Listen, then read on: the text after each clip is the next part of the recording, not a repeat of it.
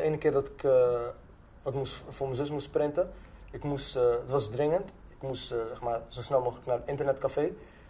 Dus ik ren uit huis en ik begon te rennen. En toen kwamen er een paar agenten naar me toe een auto, die stopte voor me.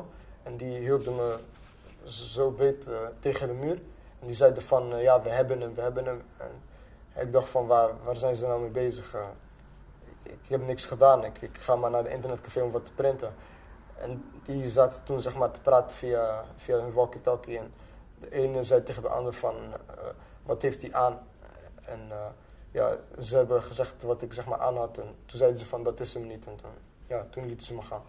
Ja, ik vind dat ze minstens een moeten aanbieden van, sorry uh, dat we je even staan hebben gehouden. Want we dachten dat jij de, die ene persoon was die we zochten. En, ja, ik weet niet wat er aan de hand is. Ik, ik loop, ik ren uh, op straat en word uh, tegengehouden door de politie. En uh, ja, dan schrik ik wel even.